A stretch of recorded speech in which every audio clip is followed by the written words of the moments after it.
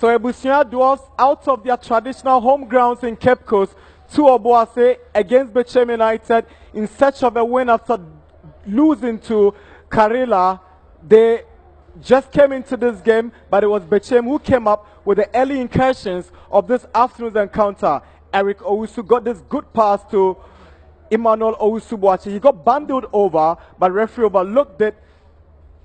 Bechem United for a moment felt it was a penalty, but referee had other ideas and wasn't enthused about taking a decision.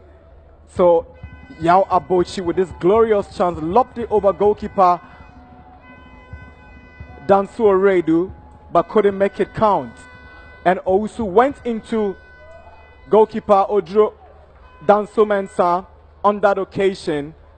This is the pass that resulted in that goal. Good goal from Jesse Okudzeto. Saw Prince coming out, slotted past him. He kept his calm and composure really well to get the first goal for Dwarfs. But Bechem had some ideas in terms of reacting. So Osman Mohamed was late with this pass, but you can pat the defenseman of Bechem for doing well to get that one well sorted out.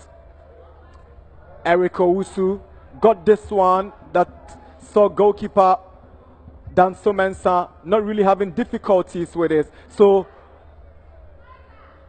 Konkoni was pulled back in this incident, but referee didn't look like interested in that one. And Owusu had this glorious opportunity. He never made it count. And Koja Samoa cleverly won the penalty, went around Mashoud, brought down, penalty taken.